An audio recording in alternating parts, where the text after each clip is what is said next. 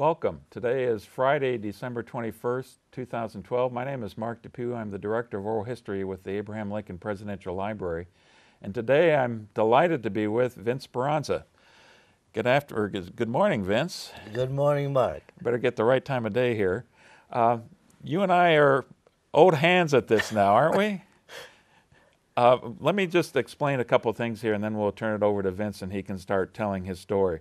We met about two and a half, a little over two and a half years ago, and it was right at two and a half years ago that I interviewed you for the first time about your story as a, as a paratrooper in Company H, the 3rd Battalion of the 501st Parachute Infantry Regiment. Regiment of the 101st Airborne Division. Right. And the central part of your story, obviously, was your experiences at Bastogne. But we talked about so much more than just that and had a wonderful time doing it.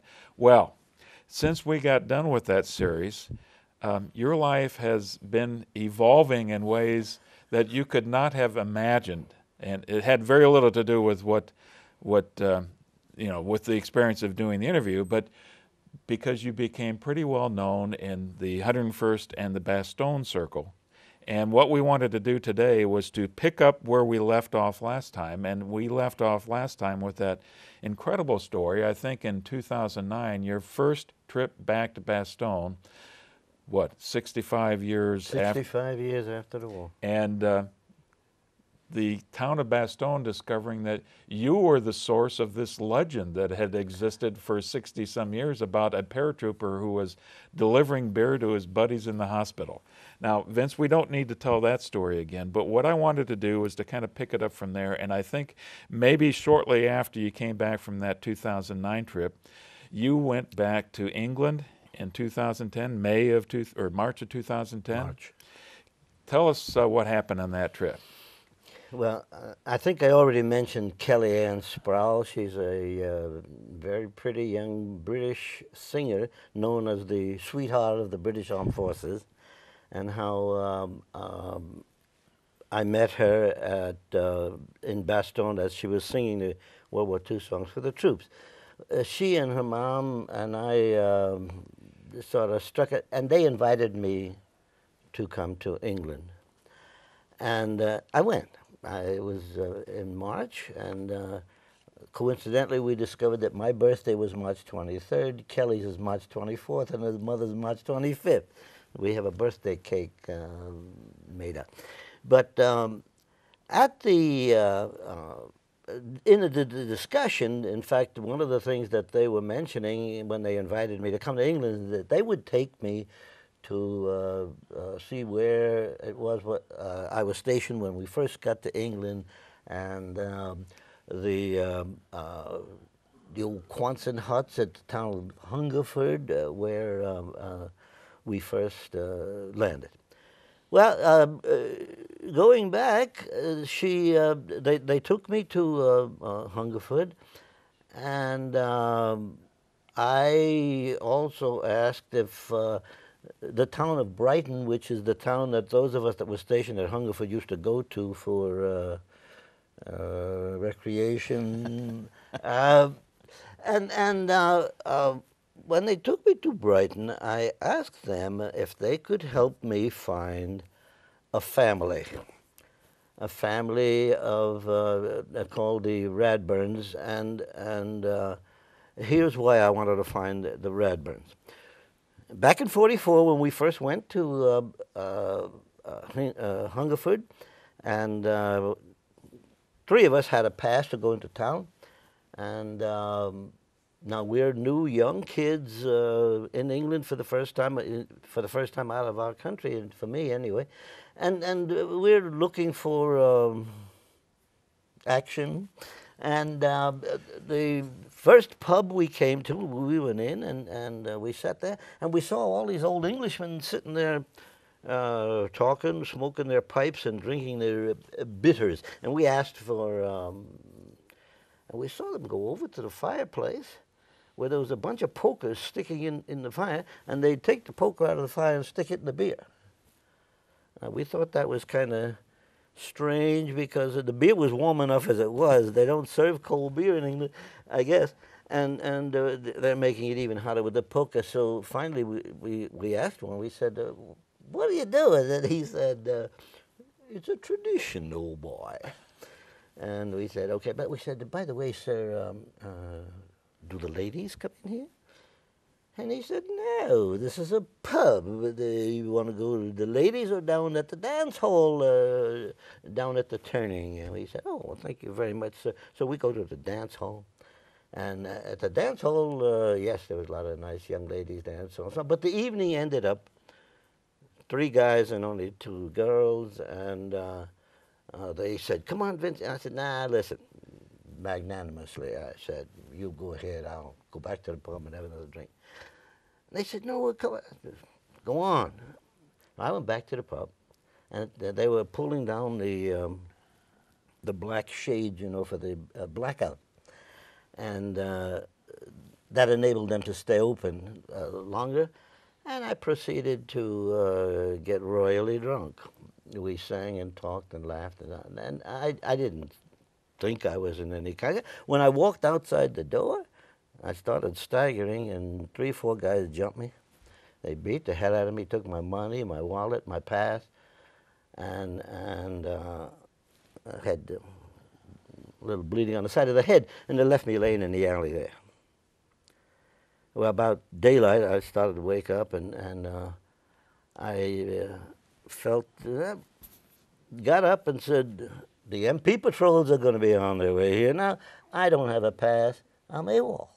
I'm going to go to jail."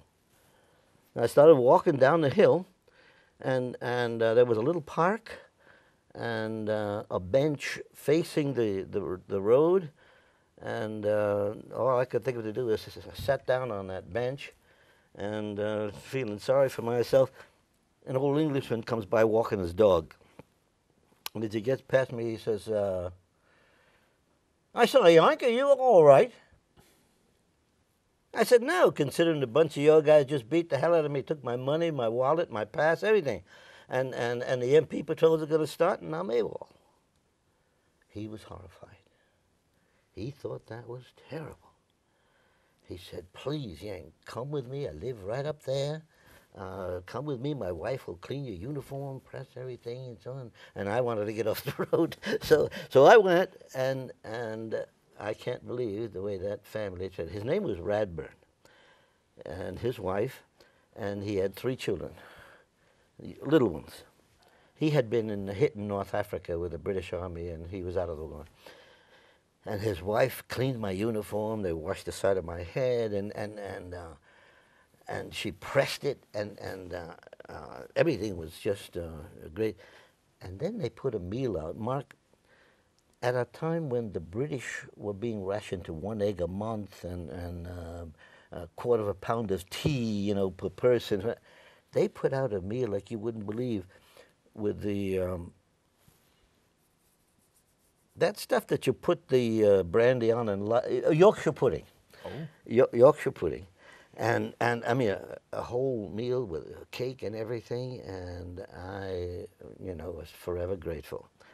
That night, he took me in his truck, uh, in his car, to where our trucks were parked to take us back to camp, and I had no trouble. I got back to camp, and uh, the next week I went by and I hit the supply sergeant up for a bunch of stuff. Among among the things was ten pounds of tea, and she went crazy when I when I gave her the, the when I gave him the tea and so on. We talked a little bit um, and uh, exchanged um, addresses and so on. You know, we were going to stay in touch after the war, but you know, nothing happened. I went back, and that's it. So when fast forward now to 2010 Kelly and her mother and I are, are looking for, I had an address, looking for where the Bradfords lived. And uh, the house numbers skipped the number I had on, on, the, on these uh, addresses. And um, we, we then stopped and talked to a neighbor and said, listen, uh, we're looking for this number, but it doesn't seem to be.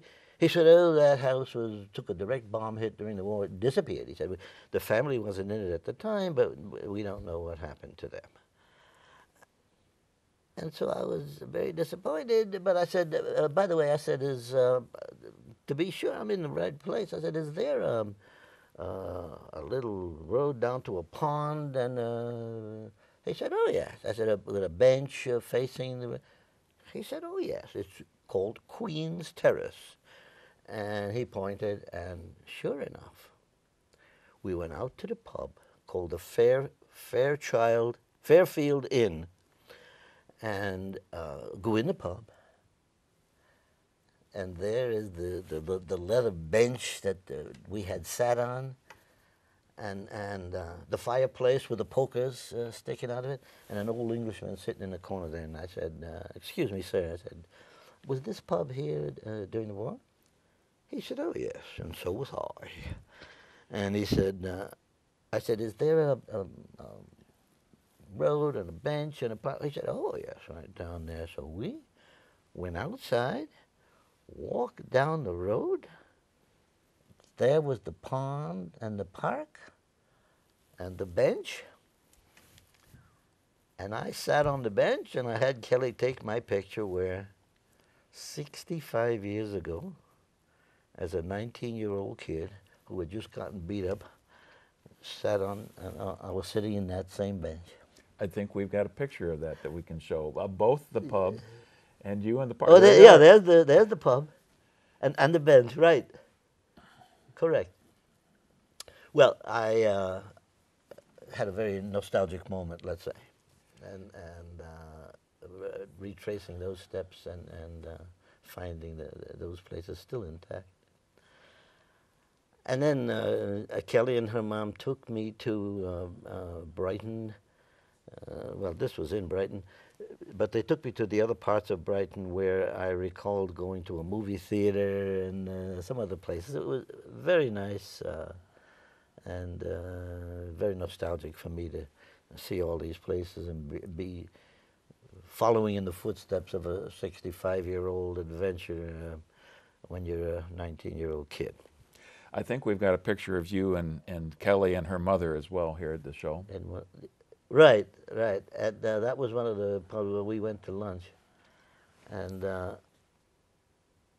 I don't know if I dare tell this one, but um, they took us to a to they took. Mark said, I, ah, "Hey, it happened. It, it happened. Look, they took us to a tea room, and uh, uh, this is the tea room in Brighton." And they're, they're very proud of their old English tea rooms where you have tea and, and biscuits and, and so on and so on. Tradition is more important to them than us, I think.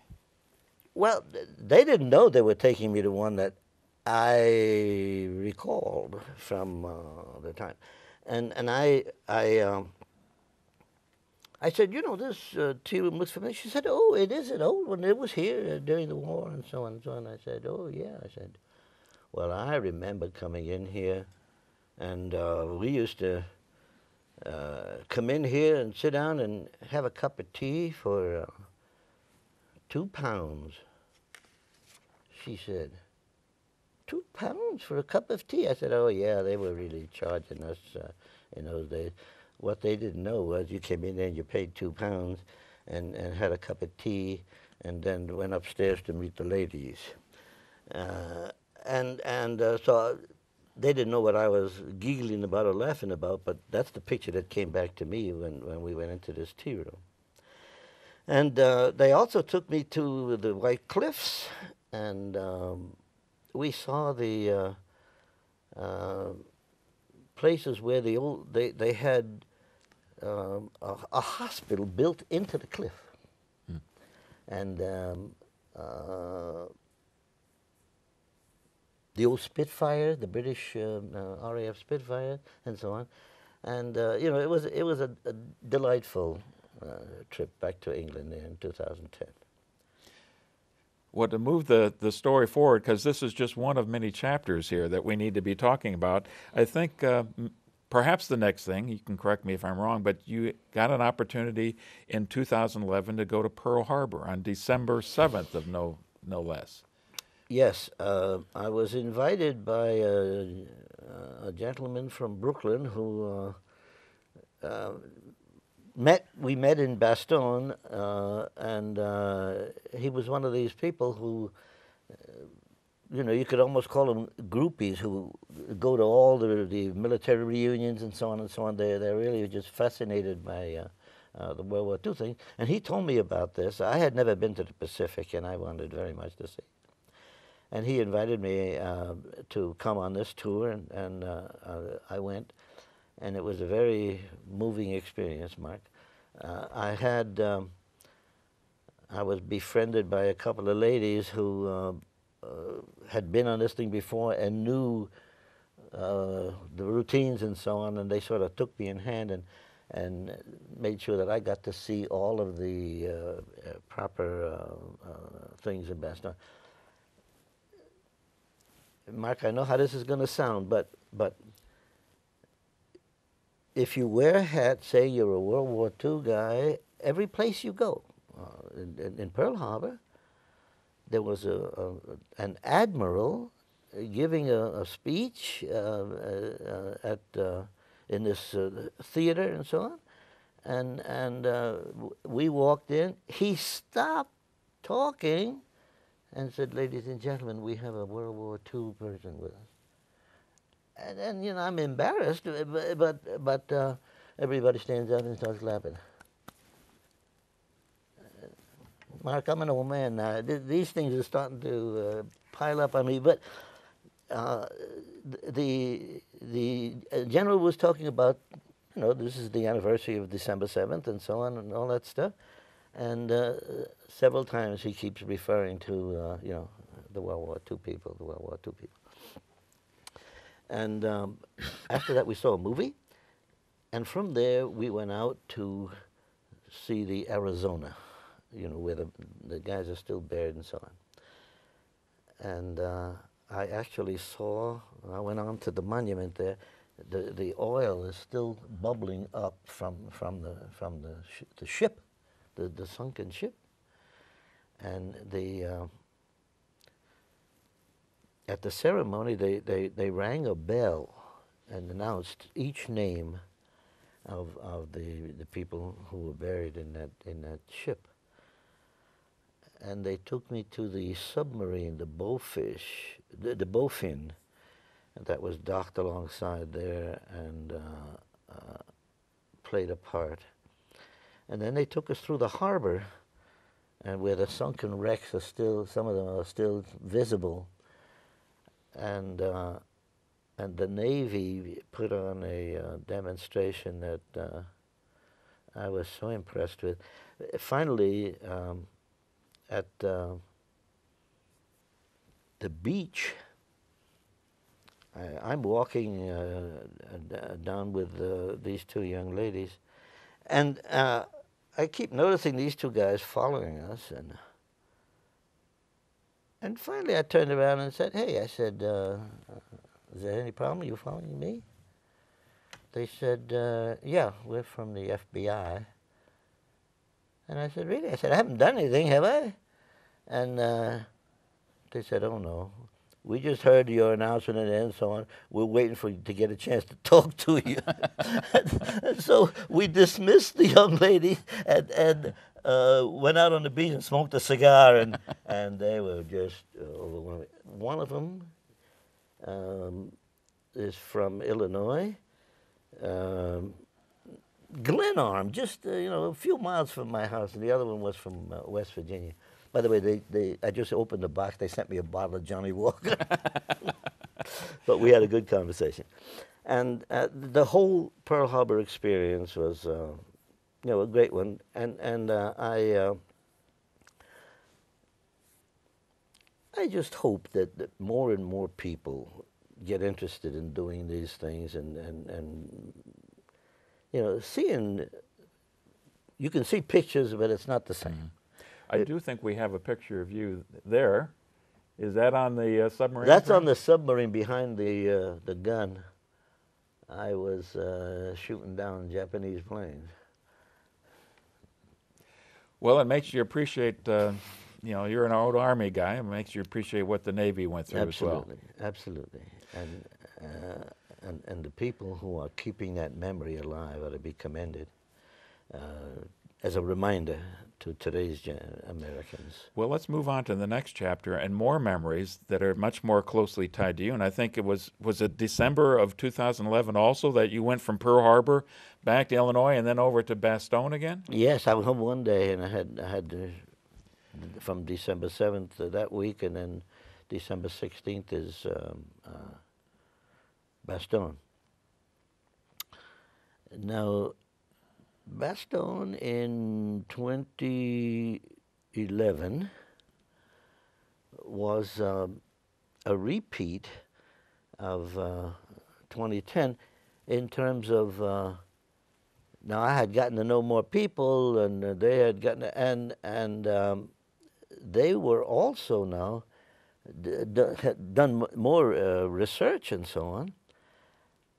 And this time, Marco Killian, the, the Dutch army officer that I've been telling you about, um, said, "We found your foxhole."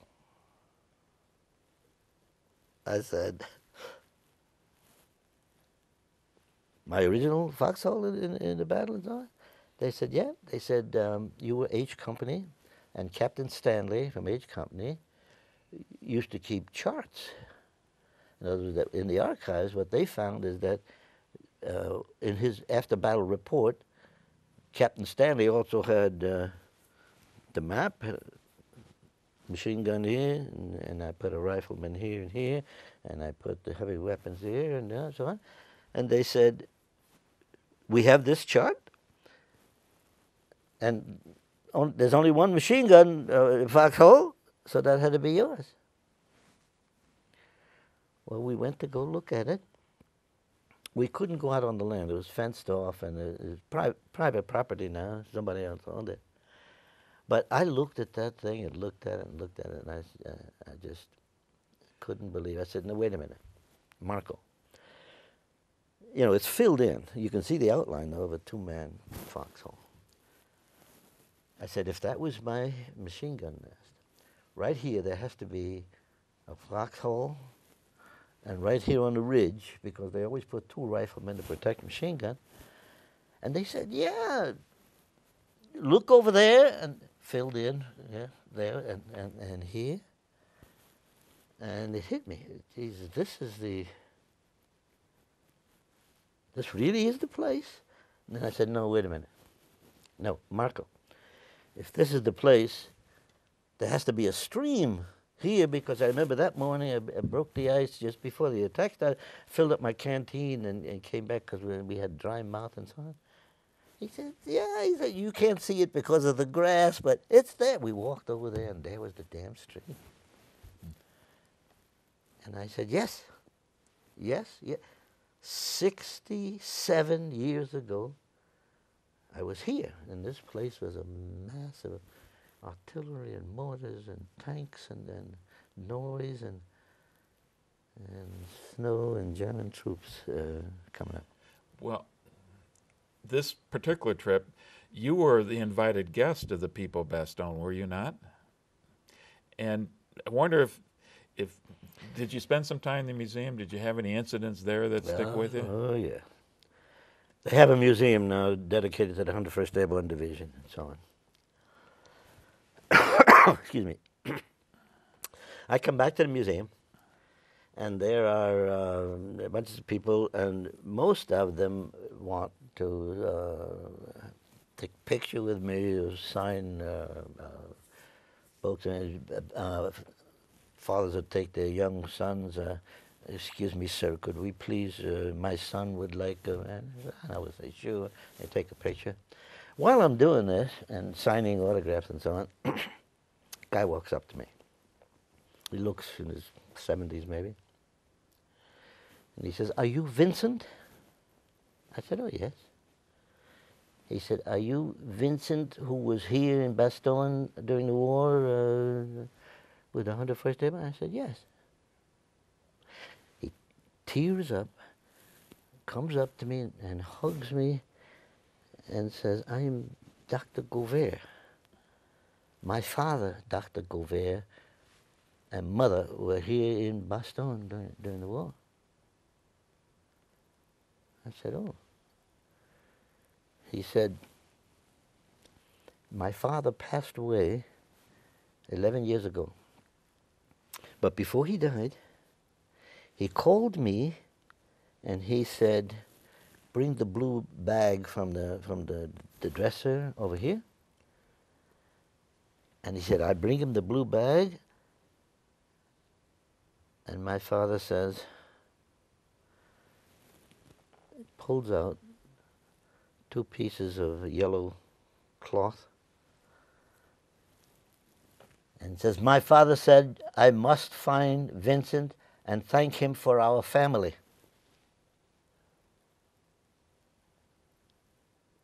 And he says, Then my father starts to tear up.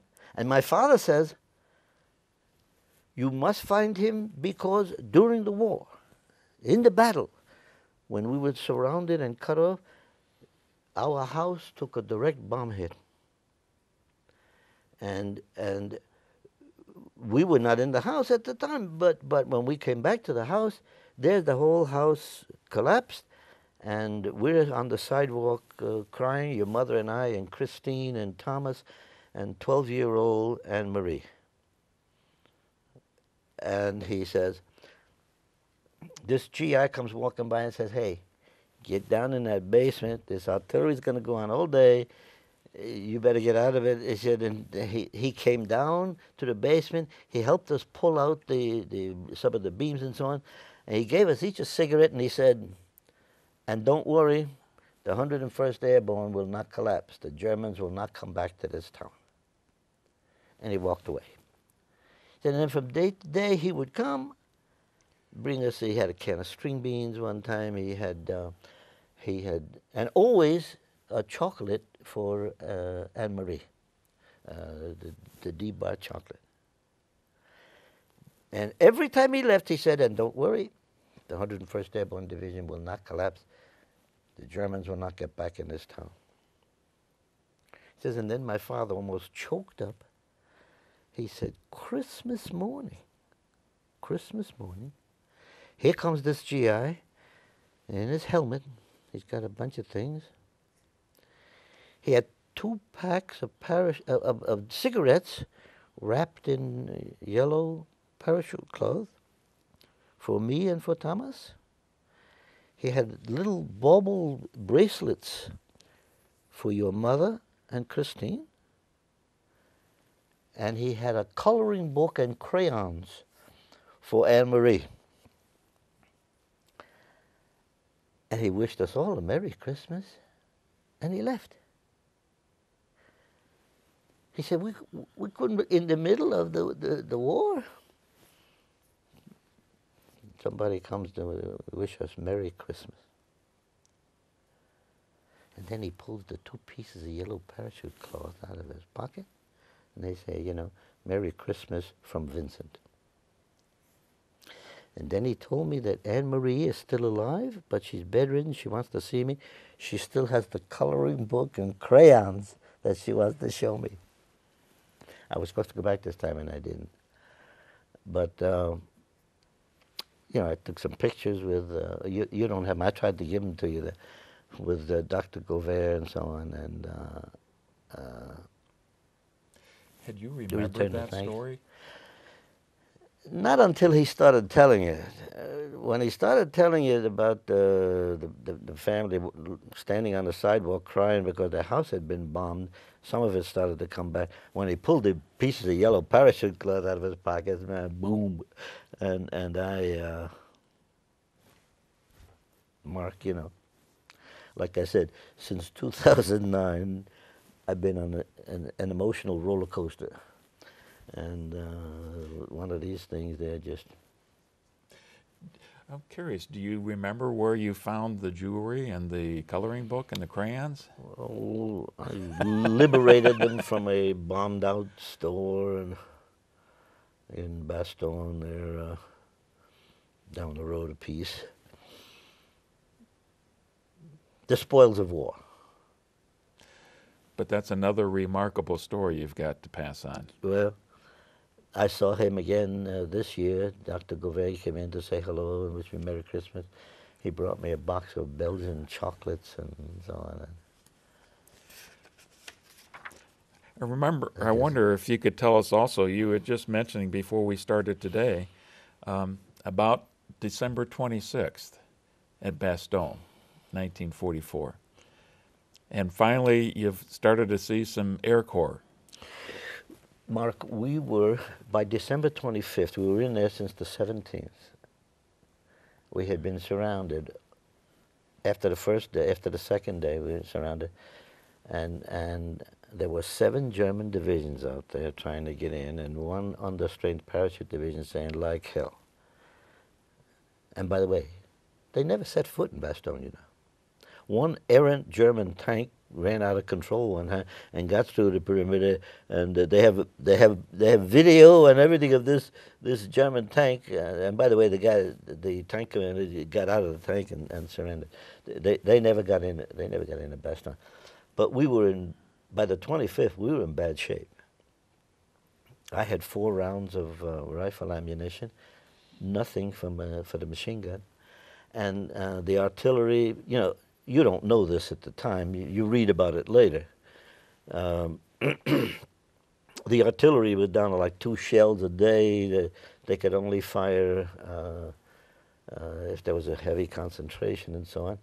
And uh, it was getting bad. You know, earlier on, the Germans had come in and asked us to surrender, and we laughed at them. And you heard the famous uh, McAuliffe saying nuts uh, to, to, the, to the German surrender by the 25th, though the, though the situation gotten bad, we, we couldn't act cocky anymore.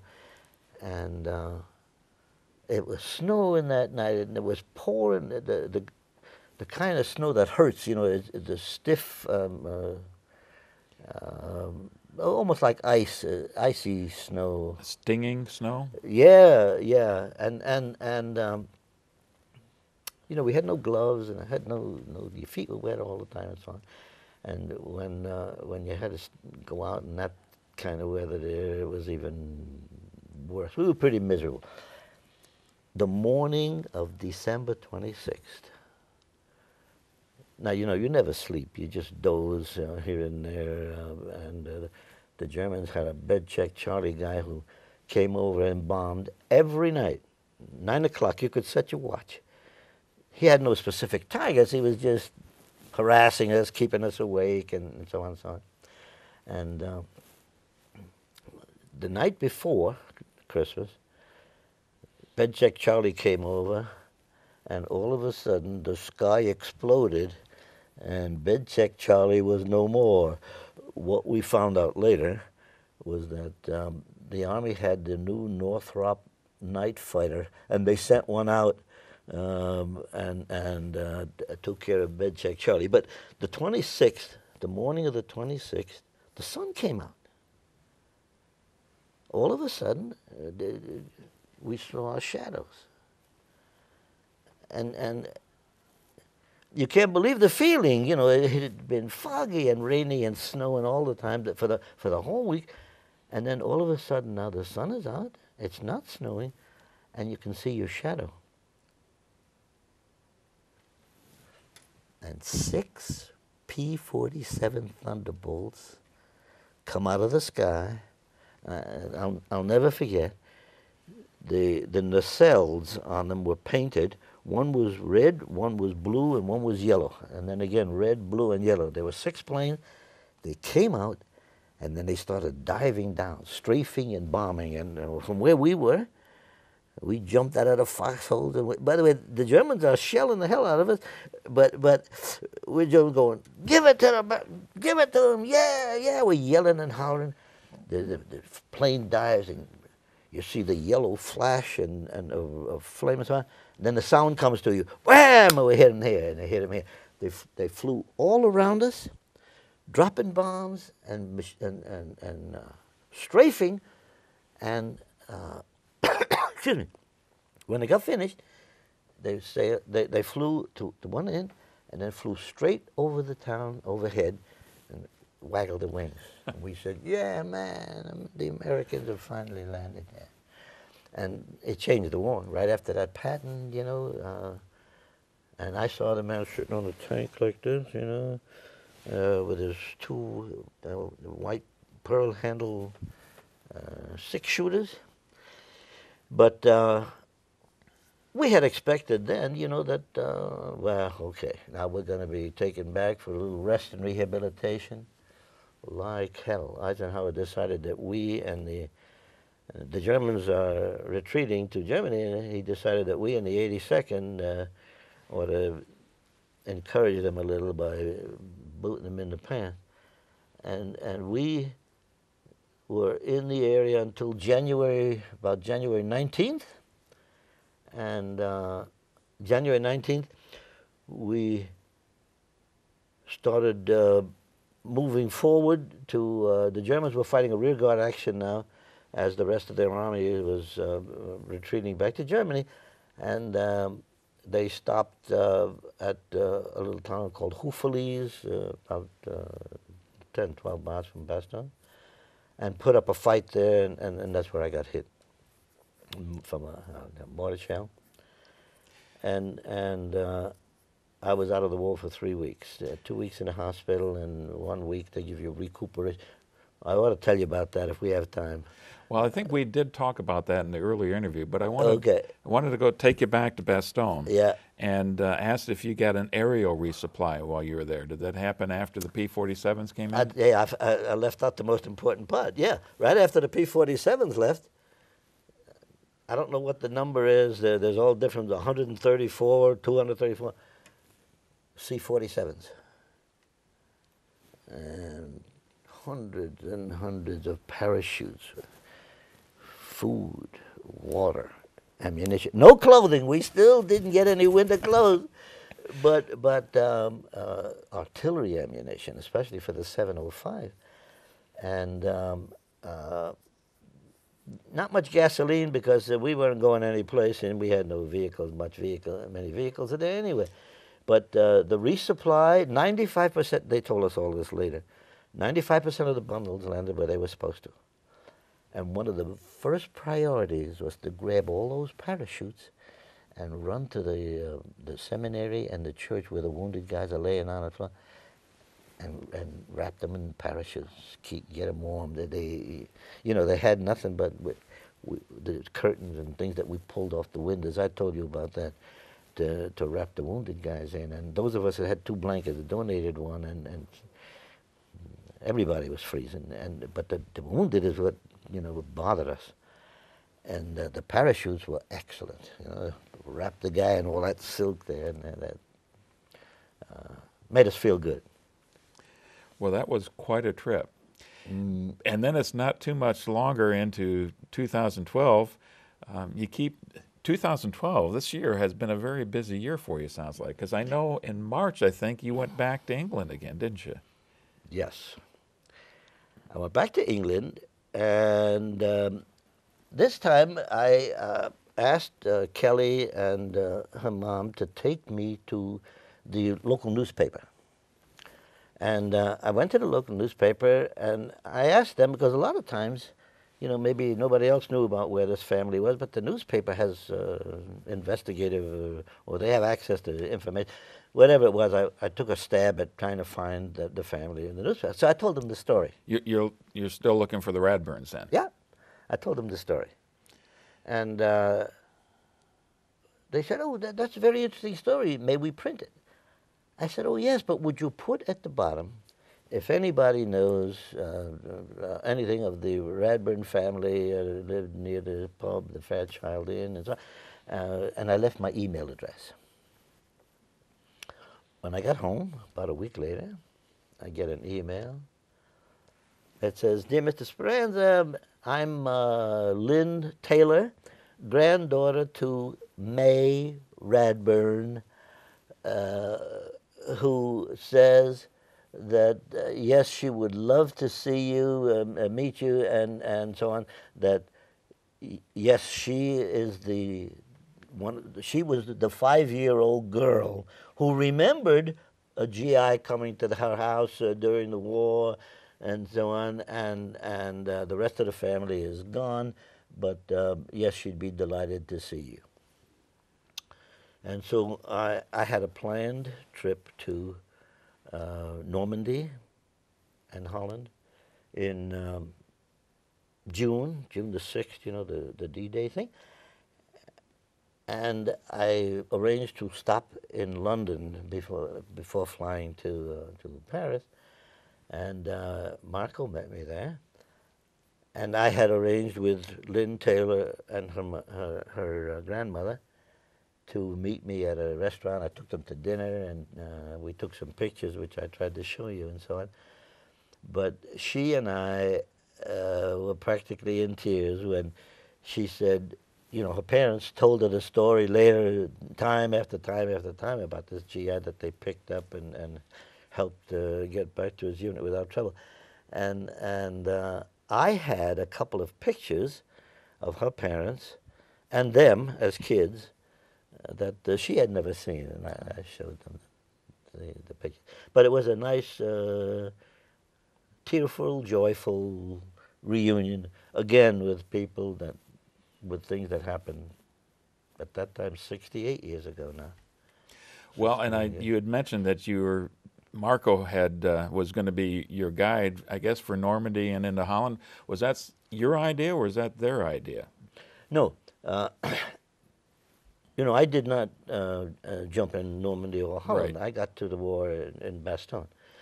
And uh, I wanted to see, they, they kept telling me about them. June 6th, the demonstrations there, they have a demonstration jump out of an OC 47, and they have, uh, and, and they would take me to the uh, fields where the where the where the, the paratroops landed, and uh, and show me the uh, the fortifications at uh, at uh, Utah Beach.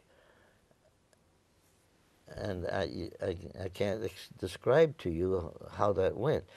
We when when we got there, one of the first things we did was go to Utah Beach, and I was actually in uh, the the fortifications.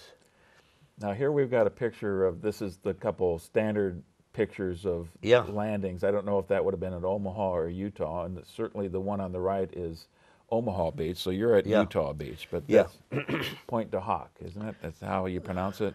something like that. Um, but okay, that's the fortif- that's the fortifications, and I decided to take a, an appropriate picture there. But when you go inside that, Mark, you can't believe that that. And by the way, there was one of these every hundred yards, every hundred fifty yards. That's, and that's an eighty-eight. And and uh, the the concrete above you is like uh, four feet of, of uh, reinforced concrete, and then a space about this big that the two machine guns, one on each side here, and the 88 in the middle, and so on, and the rest of it four foot, five foot thick uh, walls of concrete. And it, it's obvious that they're still there. The, the, the Navy, 16 inch naval gun, but they, they would make dents in the concrete and so on, but did, didn't knock them out. Some of the shell, if lucky enough to get into space, yeah, it tore the gun up and, and tore everything up. But I, I sat in uh, uh, in that uh, fort that uh, fort there, and looked. Every inch of that beach was colored. Ma- Mark, those guys that came up the beach faced murderous fire. The the aerial bombardment and the naval bombardment didn't do a lot of damage. They thought it would, and they hoped that it would. But uh, you can't believe the feeling I got. You know, we always thought, hey, the roughest are the paratroops who land in the middle uh, behind the line. But those guys that had to come up the beach against those fortifications, you know, I take off my hat to them three times. Uh, absolutely fantastic experience to, to see and, and, and, and try to envision what those guys were up against from there, we also I was invited to the E Company Band of Brothers um, celebration to mark the uh, the um the monument to uh, uh, Captain Winters, uh, you know, in the Band of Brothers thing, and uh, that was a, a, a you know another moving experience. As uh, my friend Herb Suerth, who was an E Company guy, made a speech telling about. The, the men who landed in, in Normandy and, and the paratroops who who landed in Normandy. Then I went to the church, uh, Sainte-Mère-Église, where, uh, you know, the, para, the, the parachute hanging there, the, you saw that in the movie, Yeah, anybody who's seen The Longest Day remembers that scene. Yes. I think it's Red yes. Buttons is the one who's in that movie. I went to that church, and uh, I, ha- I have all kinds of pictures of this, Mark, if you ever want to see them. So, but uh, they they have a parachute hanging there now, Oh, and they in the same spot where the original one was, and inside the church. Now you know during the war, all the stained glass windows were were uh, blown out. When they replaced them, there's one with the logo of the 101st Airborne Division. There's another one with a paratrooper. In other words, religious stained glass windows, but the World War II motif of the 101st Airborne Division in, in, all the windows. And they showed us the, the holes in the, in the roof where, the, where a bomb had come in and so on and so on. And, and um, the, again, the experience even though I know all about it, and so I mean I read all about it anyway, and so on, still to be there and see the, the things that that that uh, played such a prominent part in, in the history of that time was uh, a good experience for me. And I know that wasn't the end of it. Then you guys, as I understand, headed up into Holland and the Market Garden campaign, did you not? Yes. From there, we went to Holland, and I actually saw the bridges across the Waal. That uh, again in the movie, you remember where they had to go across and try to bring some guys at night uh, during the, the the bridges across the Waal. One of them is still there and being used, and uh, I think I was the only World War II guy there for that one, and and. Uh, Mike, I used to be surrounded by people taking pictures. And, and uh, finally I said to one, I said, hey, listen, I said, you guys are making me do the, the Hollywood thing here. They said, yes. They, they uh, showed me where my regiment, the 501, the landing field, where they landed. They showed me the field where when the gliders came in, um, they called it uh, Rommel's asparagus. They put sharpened stakes in the ground facing the direction where the gliders have to come in against the wind. And, and uh, the, uh, the wind is usually prevailing off the sea. So they set these things up so that a glider coming in would be smashing itself up. And I actually visited a glider. A man had parts of a, a glider and then, Mark, one of the most impressive things, they took me to a big farmhouse. And the farmer there, my age, he's still around. The farmer there told a story that when the Germans were there, they had equipment, you know, all over his farm. When they left, they couldn't take all of their equipment with them. The, farm, the, the thing is still around. Uh, the, the equipment's still there. The Americans came in. Now, you know the market revolution failed and the Americans had to pull out. But this farmer did not want the Germans to, to, to get this equipment that they had left there the first time. So he, with a bullet, dug big holes in his farm and he buried a German tank, uh, Bofors guns, um, an, an American Army duck, you know, the wheeled uh, things there, and, and uh, a tank destroyer. And, and, he buried them. When the Germans came back, uh, they didn't have the use of this equipment. That, that was what he did. Well, you're right. These are big holes then. Uh, there, he had a bull. Uh, and, and, and by the way, uh, I saw them. In other words, he has now dug out a little piece of each one where you can see there's a buried tank here and, and, a, and a Bofors gun there and so on. And, but then he showed me um, the barn where he had built a false wall and changed the roof line so that it looked. And, and the room, I went in it, was like maybe about 12 feet long and, and uh, no more than six, eight foot wide, where he hid Allied pilots that got shot down and so on, but did not get captured right away. and Jews, and uh, he hid them there overnight or for a couple of days until the Dutch underground could take them and, and get them out. And Mark, the penalty for harboring those during the war was not only you get shot, your whole family, kids and all. And yet these guys, these were willing to take those kind of chances. You know, not only the military fought the war, Mark, there were a lot of civilian people who deserve an awful lot of credit for taking the, the, the chances that they took to help us out. And uh, what else did I do in Holland? We saw the windmill. There was the big windmill fight, and, and it's still operating. Did you have a chance to get to Nijmegen, the, I think, which was yes, the bridge too far? Nijmegen, uh, Eindhoven, and uh, Eerde. I And by the way, yeah, those are the bridges. And uh, I've been invited uh, to go back only this time, the 17th of September, the anniversary of the Holland Jump, when they say the whole country celebrates, and uh, they would love to have as many World War II guys as they can find to go back there. I've been invited. This one will be free, all expenses paid. Nijmegen was the British target, was it not? No, Arnhem was the, the British. Um, Nijmegen, the the 101st, the 101st, uh, the 501 anyway, landed near uh, uh, Nijmegen. Okay, Nijmegen was one of the towns and so on. But uh, Nijmegen, Eerde, and, and uh, what was the other one? There were three towns that the 501 was uh, in, involved in. Um, the British, you know, almost got wiped out. In, in uh, they were further north of Arnhem.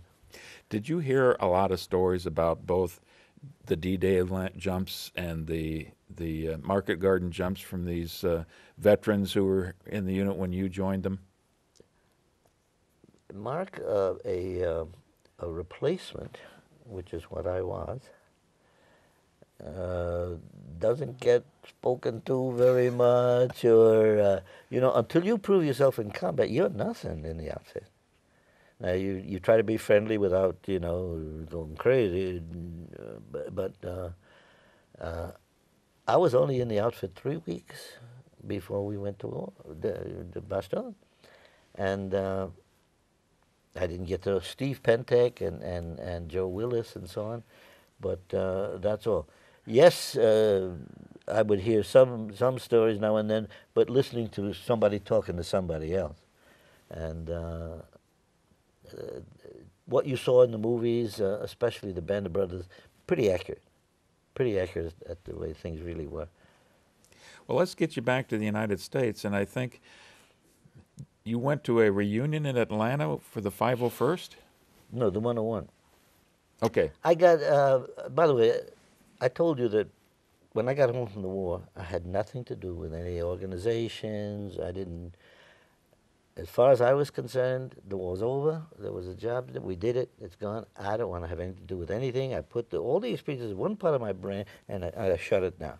And until 65 years later, you know, I, you, I've mentioned this to you again and again and again that I. I was not interested.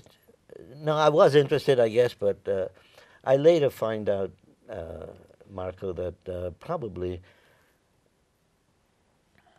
I was too cowardly to face the white crosses. I did not want to go back and see this slaughter. Uh, it's hard to describe, but wh- whatever the story is, um, when I went back, uh, uh, it was a, a, a revelation. But uh, in in Holland, uh, in uh, Atlanta, I got a phone call one night before Atlanta, and and uh, this guy, a voice I don't recognize, I, don't know, he says, uh, "Are you Vince Brand?" I said, "Yeah." He said, "Are you the Vince Brand with the 101st uh, during the war, Bastogne?" I said, "Yes." He said, "Where the hell you been, man?" I said, "Who the hell are you?" He said, "Oh well," he said, "I, I didn't mean to talk like that." He said, "But I'm uh, Master Sergeant George Boss, 29 years with the 101st Airborne Division." He said, "Not World War II." He said, "I was uh, Vietnam uh, on." He said, But he said, We're looking for you guys. He said, We're having a reunion in Atlanta. Excuse me. There aren't a lot of you guys around, and we're trying to get as many together to uh, put into it. Said, they said, How did you never join the union? I said, "Well, I, I just wasn't interested. So, well, man, he said, we, We're interested. Will you join? I said, Sure, send me the papers. And I'll join. And I, uh, I got the papers and I, I, I- I signed up and became part of the uh, 101st Airborne Division, 101st Airborne Division Association.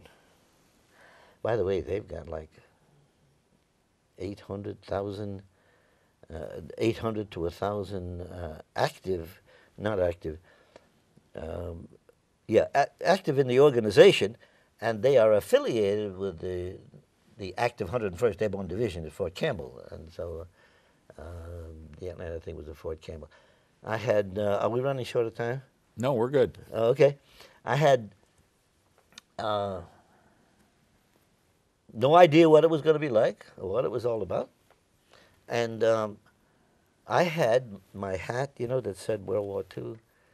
And uh, when I when I got off the uh, the transport from the hotel into to the to the hotel where the where the reunion's taking place, as soon as I got off the bus, the the uh, shuttle, four guys, big guys. Hey, by the way, Mark, the the division is a division of giants.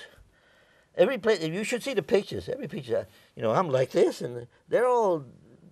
During the war, there was a lot of little guys like me. In fact, they preferred smaller paratroopers. We came down easier and lighter. We rode, and, and the, the big guys came down like a ton. But at any rate, they're all giants. They, four, these four big giants come come walking up to me. Said, "Are you uh, 101st?" Uh, said, "Yeah."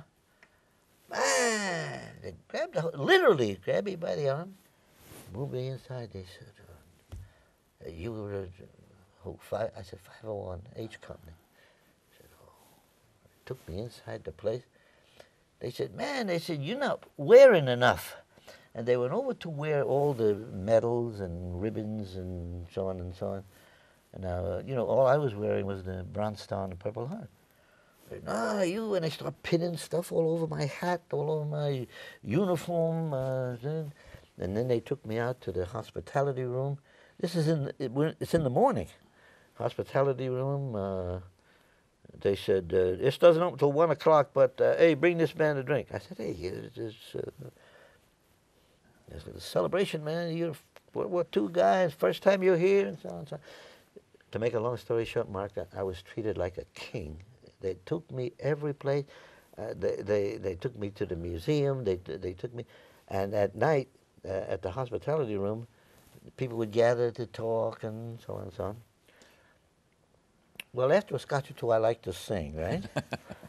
and and uh, so I'm saying, you mean you guys? Uh, by the way, they're all air assault now. They're they're not jumpers. the helicopter. I said, you mean you guys don't remember the old jumps? And I started singing. Is everybody happy? Cried the sergeant looking up. Our hero bravely answered yes. And then they stood him up, and the guys are going, yeah, yeah.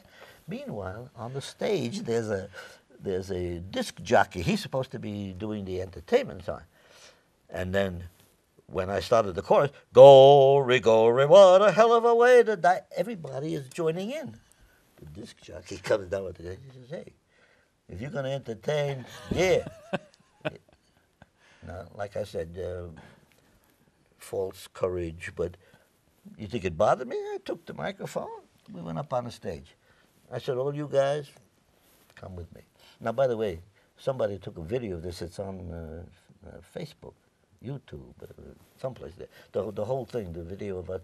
We went up on the stage and we sang all the verses of the paratroop song. Came back down again, another thing. When I left, before I left, they were calling me Airborne Vinny, and and uh, the they invited me to the February one uh, th- that's coming up. Now I'm going, and they said, "Uh, "Man, you're going to sing the paratroop song again?" Yeah. After two scotches. Were there many other World War II veterans at that reunion? No, there were six altogether. No, seven. I, me and six other guys, and uh, two of them were in wheelchairs. And by the way, the uh, the whole division, you know, P- uh, Petraeus and a whole bunch of people coming there. It was the the birthday of the 101st Airborne Division when it was first formed, I guess. But whatever the story is, uh, th- they. The, the whole division is going to pass in review, uh, and the reviewing stand has, uh, you know, Petraeus, the Secretary of the Navy, Secretary of uh, this and that, the big shots, uh, the uh, State Department, and so on. When the division, from the far end of the field, here's the, here's the reviewing stand, far end of the field, the division comes marching around. Now, this is 12,000 guys, comes marching around about 200 yards from the reviewing stand, they stopped and they took the World War II guys, put us out in front. Even the one in the wheelchair with a guy uh, pushing him. And the division starts up again. And the, uh, when the World War II guys get to the reviewing stand, Petraeus saluted us. You know, we did the eyes right, uh, and those of us that could walk, you know, march uh, with the division. But when we got to the reviewing stand, and we did the eyes right, Petraeus saluted us. And we walked by, and of course we fell out right away, and the rest of the division kept walking by. But another marvelous experience. And uh, after that one, I got a call from the 501 Regiment uh, uh, Association. They got my name from the other. They said, "You haven't come to any of the 501." I said, "No, I'm not a member." Well, please, and, and, and I went to the 501, which was in Atlanta also. Yeah, by the way, the, the, the 101st uh, reunion was not Atlanta. It was uh, Memphis, Tennessee. Okay. Uh, and Memphis, uh, and the hotel, you know, is like uh, Fort Campbell's on the line, Kentucky and, and, and uh, Tennessee. Atlanta was the 501. You have to pardon an 88 year old's. Well, I might have, I misled you. Vince. I misled you. Uh, but I went to the 501 reunion in Atlanta, and that was a good experience too. There Were these strictly World War II veterans, or this is There's a handful, and uh, th- that are members. There was only one guy there, and he was older than he was 94, but he was with the with the 501 uh, uh, during World War II. He he was actually a Normandy jumper, and uh, we had some great discussions. And uh, and I asked him the, the most important thing I wanted to know is how close do the movies and so on come to him. He said he said Band of Brothers they they made a real effort to make it uh, real and look real and so on. And he said D-Day, yeah, there was a little extra drama in there. He said, but uh, that was pretty accurate too. I said, and then there was another one, an old, old, old one called Battleground. I said, oh, I know that movie. I said, I was in it. He says, you were in it? He said, yeah. I said, yeah. I said, you know what happened? In Bastogne, there was a life photographer caught in there with us, uh, and he took pictures all the way. And uh, when, when, when we went, in 1948, they had a, uh, a, a special showing in Columbus, Columbus, Georgia, right? Columbus is Georgia. Columbia is South Carolina. Columbus, Georgia. In Columbus, Georgia, they, they had they sent us all a letter. They said, "Listen, we want you to come, and uh, you know all expenses paid. We want you to come, and uh, uh, we're going to preview this movie with you, and we're going to give you a card which says which you where you can say." That's crap. It didn't happen like that. Or yes, that was correct, and no, this and this and this. And they showed us this movie. They started showing the movie, and there's one scene where a squad is coming up the road, uh, you know, snow, uh, coming up the snow, making the turn. The first guy was Sergeant Red. My guy, the second guy was uh, I forgot who. The third guy was me carrying a machine gun on my, on my shoulder. So I went when I got home with the whole family. Hey, listen, you gotta watch. We gotta go see this movie and so on and so on. When it got to the movie, that scene was cut out. Uh, a lot of the actual footage was, was uh, cut out when they started showing it on television. While it was uh, still in the movies, it, it was in there, and, and a couple of my family did get to see it. But uh, when it, when it got to television, and and, and I, when, as soon as I see that it's on, I say, "Hey, hey, the movie, I'm in it." So I, no more. They they cut it. Did you have a chance to meet any of the stars? Van Johnson, I think. James Whitmore was another one. That's who was in there in the movie. No, I. They didn't have any of the movie stars there. They just showed the movie. It is one of the classics of World War II, and it was made just a couple years afterwards. So I would certainly recommend people to see that one as well. Okay. And they can they can think, oh, what a shame it was that they cut out Vince's part. Did you have a chance later that year to also go to a Band of Brothers reunion? Yes, Kansas City. Uh, Herb Suerth, who lives in Minnesota, and we met at uh, in Bastogne, uh, is the president of the the uh, Band of Brothers Association. You know, they have a an incorporated association. They've been in business, you know, for years, uh, reunions and all over the place that I, I never know anything about. But um, he invited me to come to this. This is going to be the last. It, it is the last reunion. Uh, there's only two guys left that can travel, and uh, they came to, to to this one, and we had. Uh,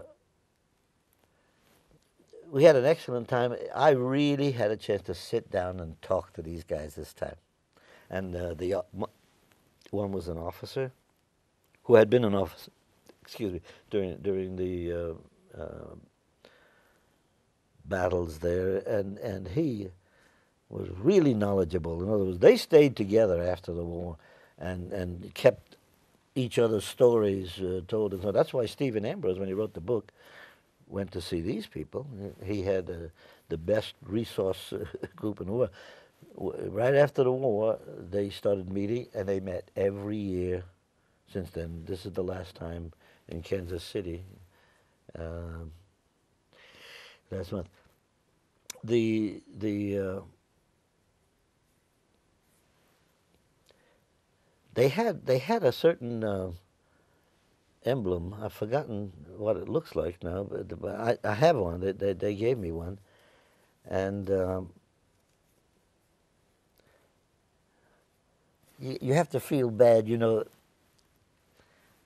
These guys who, uh, you know, stayed together and became famous, uh, a book and, and a movie, and the, best resource people you can find, the best guys you can find to sit down and talk with, uh, because you know they had to go over everything again and again to make sure it was right and accurate and so on.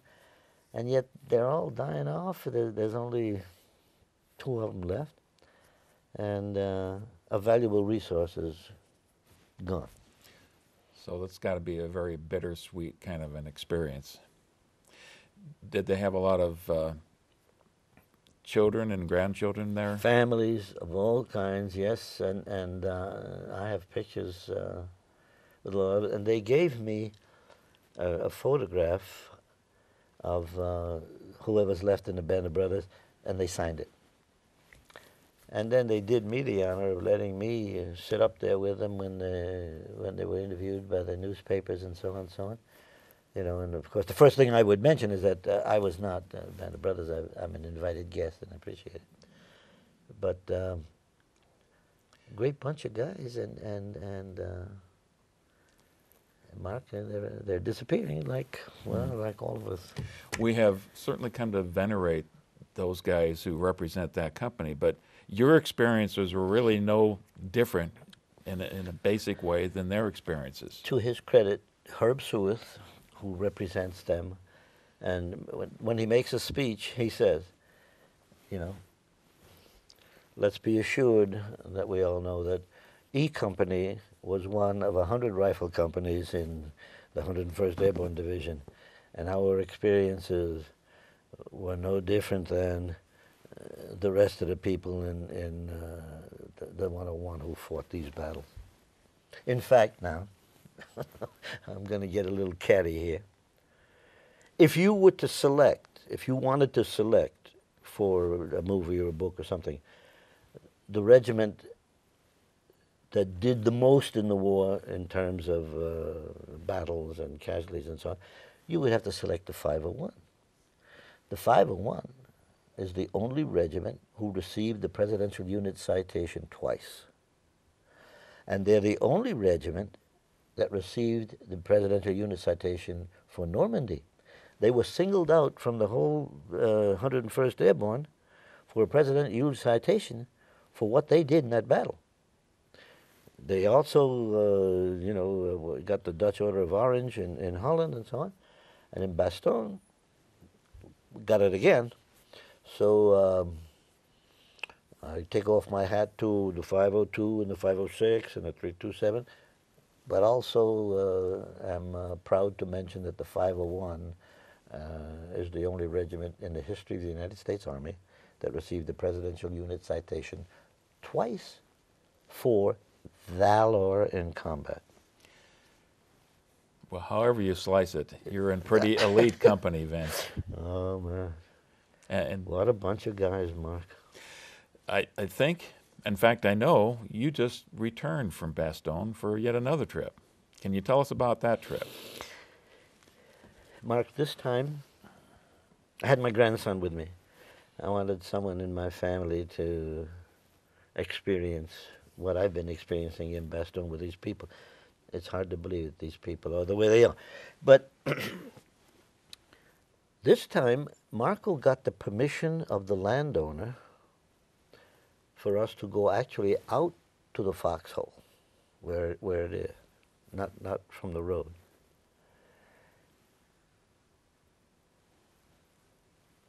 And Mark, I, I gave you a picture. No, you, you don't. You, it No, I, I do want to say you've mentioned several pictures, and I'll make sure that once we get this up on the website, people are going to be able to see these well, pictures. okay. I, I've got uh, pictures of this. But we were able to go out to the foxhole and stand in it. I. It's it's filled and it's got water uh, in it and so on. And in fact, I was half half of my my shoes were uh, covered with water. But I was able to stand in my foxhole. That, by, by the way, uh, Marco Killian had, had dug out and he found two bullets that had to come from my machine gun. Th- They were both scarred from the, from the breech. In other words, um, you know, when a machine gun doesn't fire, you do corrective action, you, you kick out the shell, it won't fire. And it must have happened twice during the battle. And those shells were in it, and part of the belt, the machine gun belt, they found. And, and, and look over. Now, it's not the same without snow. You know, there was no snow today, th- this time. But the whole battlefield again, the, the hill, the German artillery was right behind that hill. When the first uh, uh, wave attack came, it came up here. There were the barbed wire fences down there that they got tangled up in. Uh, Mark, I stood yet, last week on the spot where 70 years ago, 70 years ago, I was a 19 year old kid uh, with a machine gun. And, and, and, and my grandson, I pulled him over and I said, You were standing, and he's 19. I said, When I was your age, I was standing right here with a machine gun. Uh, you know, you get emotional, tears in your eyes. Luckily, one of the boys had a flask with some good Irish whiskey, and uh, we had a drink afterward and uh, calmed down a little bit. But I, uh, you know, I, I met with some people again, beautiful people that, that uh, and everybody wants to take a picture with you and and uh, sign. Uh, people, I, uh, people want their coat a, a civilian coat, please. Your, your coat? Yeah, and, and I, I signed their, their name, my name on the coat. And, and um, the uh, mayor of the town of Bastogne put uh, um,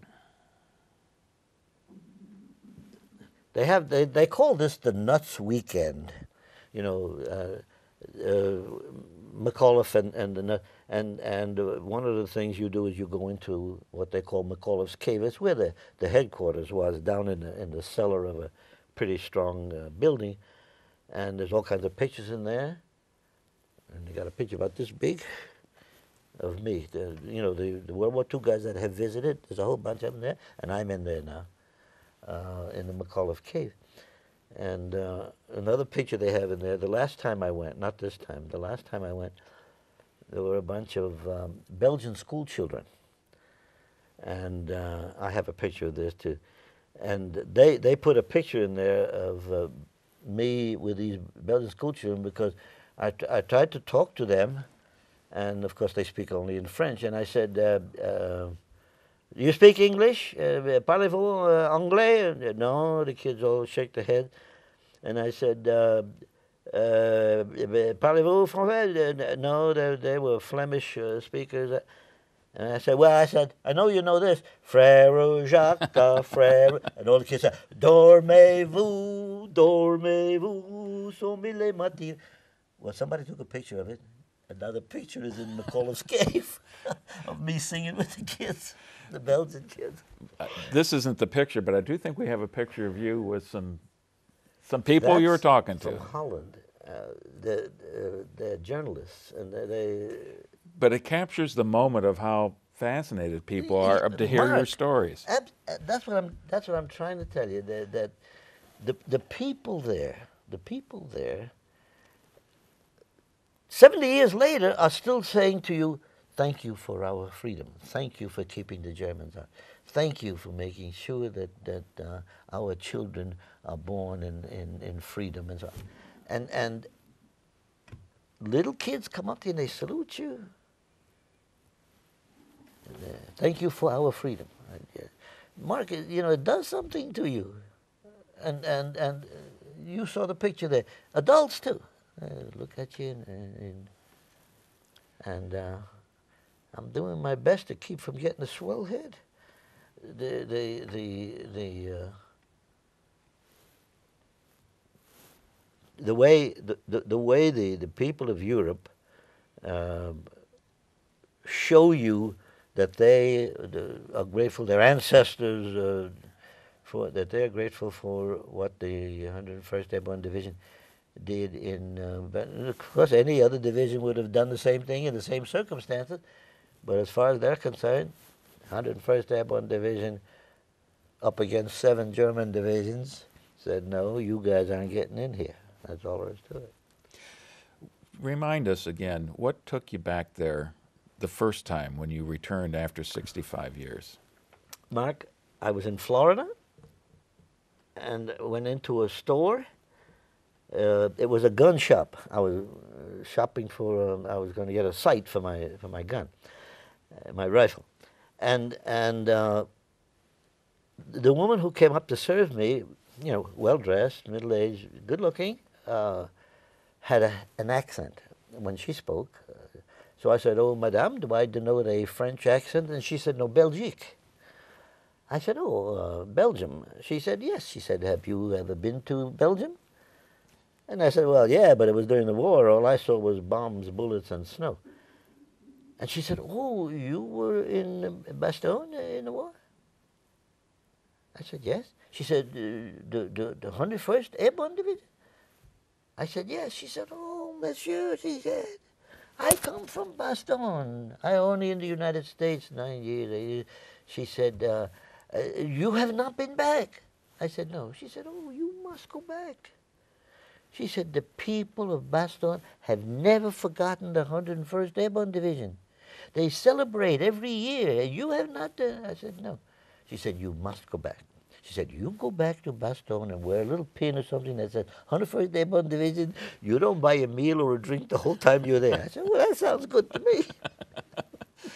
Well, here's and and uh, I, I I started talking to my family. Oh, Pop, you're 85. You, I said, well, then what have you come with me? So my daughter said, okay, I'll come with you. Now, Mark, we knew nothing. We know nothing about what's happening. We know nothing about the celebration. We, uh, my daughter and I were going to go and just uh, get a taxi and go out and look around town, see if I could spot something. But when we got to Bastogne, uh, we're going down to the bank to uh, convert our money to euros, and and my daughter sees in a window uh, a mannequin with a complete 101st Airborne Division view with an eagle patch in, in a window. And I, I had walked past it. My daughter pulled me back and said, The coincidences that are happening now, Mark, is uh, incredible. She, um, she said, well, she go in, "Pop, look at this. And I looked and I said, oh, well, let's go in and see what it's all about. When we go in, there's a, it's like a, almost like a warehouse. It's got all World War II Army equipped. There's a tank in there. There's a jeep, There's uh, uh, guns and all kinds of uh, uniforms. Uh. But all World War II in here. And behind the counter, there's a great big guy in an accent. Uh, Can I help you? I said, Well, no, I was here during the war. I'm just looking around.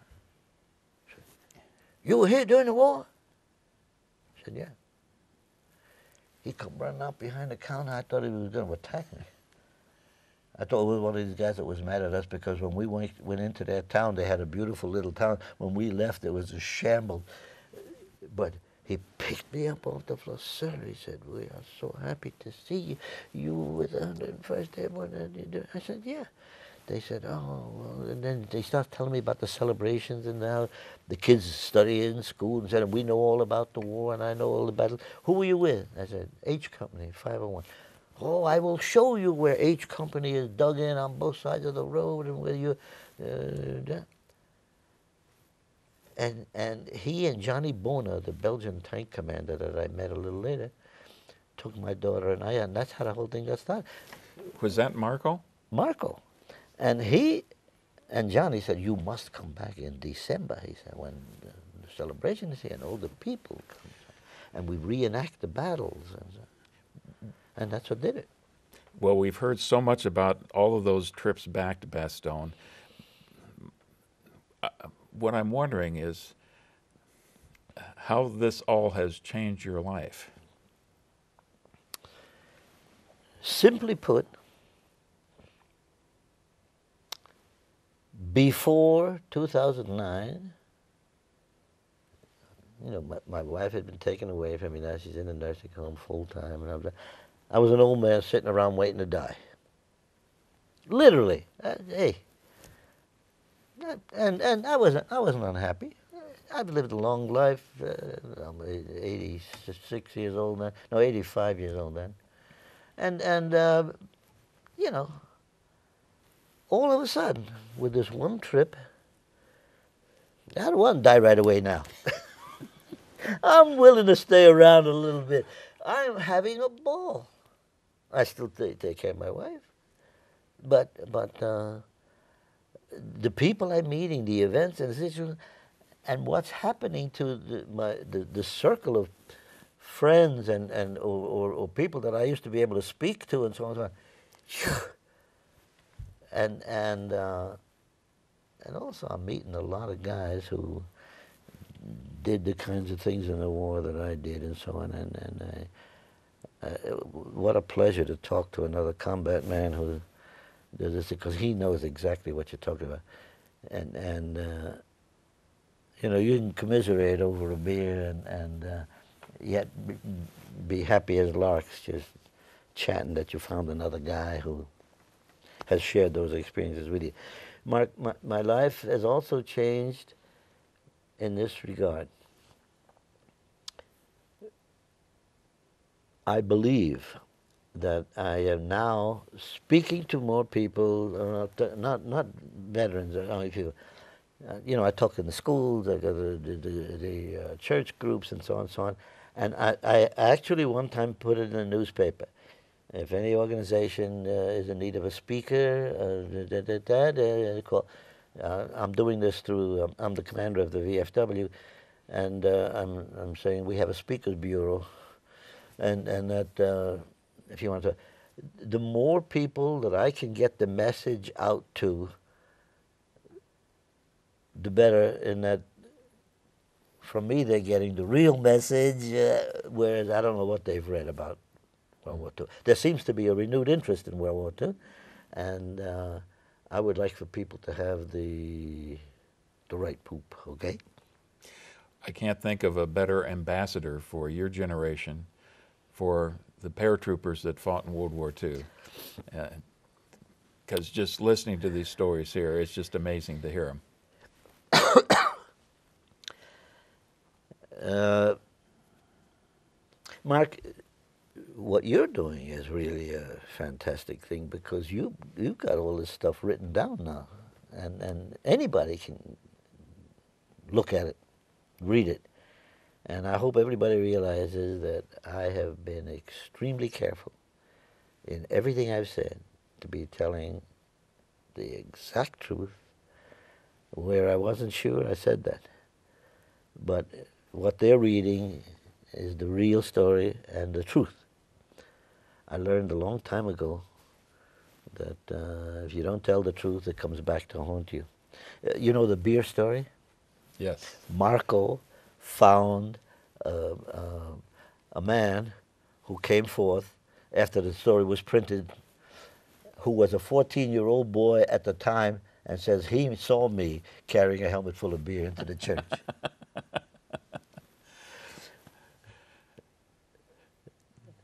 and I forgot what else. Uh, uh, another uh, group I was telling a story to.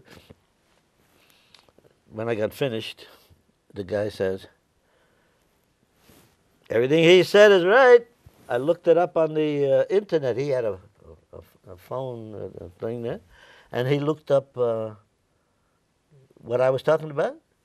Said it's all there, pictures and all. Tell the truth or you, you live to regret it.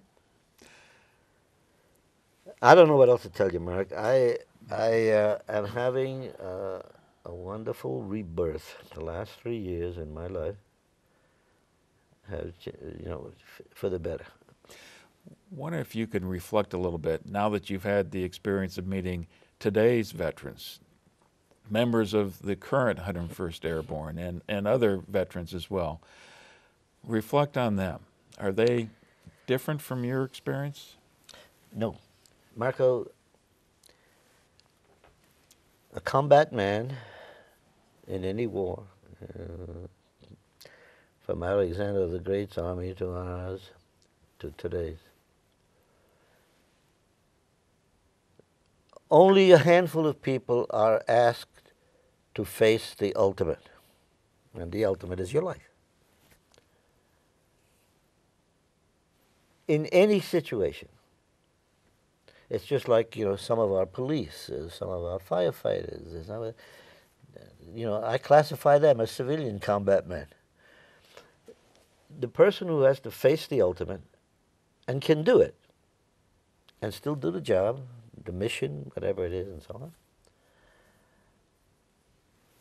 has a has a, a, a shift in his whole thinking, in his life, and, and everything else.